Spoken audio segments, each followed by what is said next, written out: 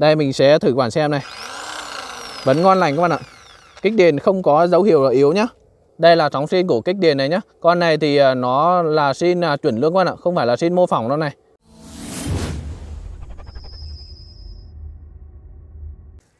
Hi, xin chào anh em nhé à, Hôm nay mình có một cái giải pháp à, điện năng lượng mặt trời quản này. Tròn một cái bầu thế này luôn. Quản à, mua về chỉ việc à, sử dụng để à, thắp sáng trong gia đình Hoặc là chạy những cái thiết bị ở trong gia đình ấy.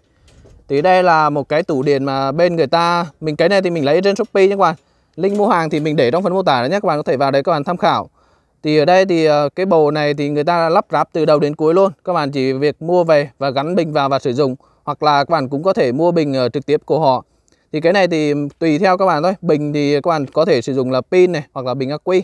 Về bình ắc quy thì các bạn ờ, có thể mua ở ngoài tiệm, có rất là nhiều. Ở đây mình sẽ có một cái hệ pin mặt trời là có thể lắp được hai tấm pin là 100W ở đây mình uh, sử dụng một tấm này để mình test thử các bạn xem nhé À, thì ở video này mình sẽ test thử các bạn xem là với một cái bầu thế này thì nó có thể chạy được những cái thiết bị như thế nào này và cái khả năng à, sạc của cái tấm pin này đem lại như thế nào nhé. Với cái bầu này thì các bạn có thể chạy được tối đa là ba cái tấm pin 100W này với cái bình là 150A là tối đa nhé.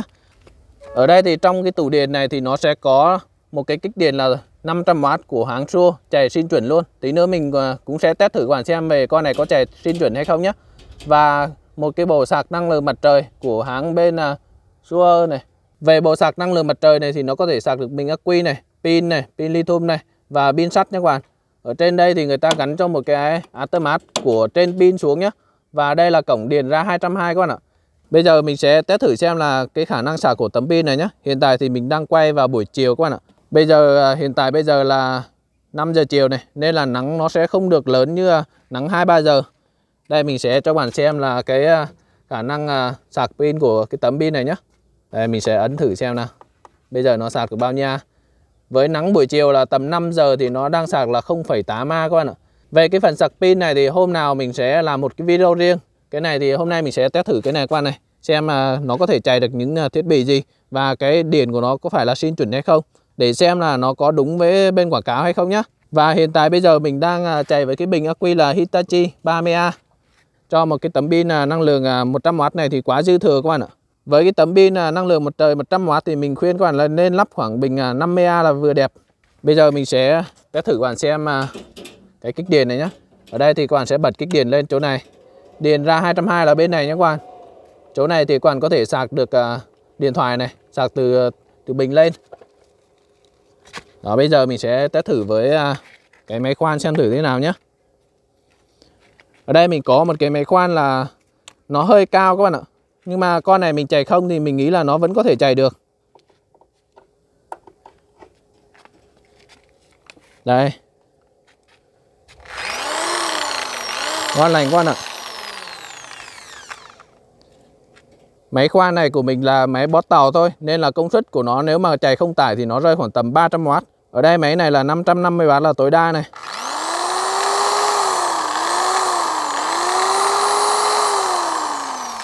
Ngon lành nhá. Bây giờ mình sẽ test thử với đèn và quạt này. Đó. Chơi cả đèn cả quạt một lúc luôn con ạ. Đấy, cắm à, một cái quạt 45W nữa Nói chung là con này thì kích 500W là chạy khoảng tầm à, 330 à 350W là là vừa khéo các bạn ạ. Về kích điện mà các bạn muốn sử dụng thì nó bền ấy thì các bạn nên chỉ sử dụng khoảng tầm là 1 phần 3 kích điện thôi, không nên sử dụng cao nhá. Nếu như mà quản sử dụng cao thì một thời gian thì kích điện nó sẽ hỏng và cái bình ắc quy của bạn cũng sẽ hỏng ngay luôn. Hiện tại thì à, hai cái bóng của mình là 200W rồi các bạn ạ. Kèm theo một cái quạt này 45W nữa là tầm 250W. Đó thì như vậy là cái kích điện này nó chạy khá là ngon nhá. Bây giờ mình sẽ đo xem là nó có phải là sinh chuẩn hay không để xem thử thế nào. Đây mình sẽ test thử nhé. Hiện tại thì nó sẽ cho ra được điện là 225V. Ở đây là mình sẽ đo tần số nhé.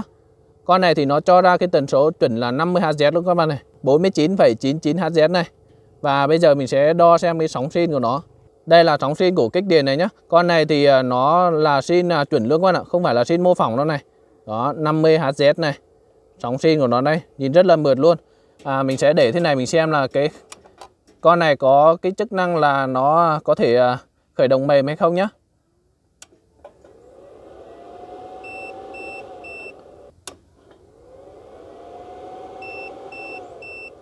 Về cái kích này thì à, hiện tại thì nó không có chức năng à, khởi động mềm các bạn ạ. Nhưng mà xin của nó ra thì rất là đẹp luôn, rất rất là đều luôn các bạn ạ.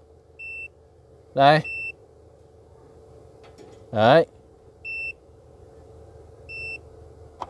À, mình sẽ test lại quản xem này. Cái kích điện này mình sử mình sẽ thử xem là tối đa xem nó có chạy được hay không nhé với một cái máy khoan và hai cái bóng 200W đây mình sẽ thử quản xem này.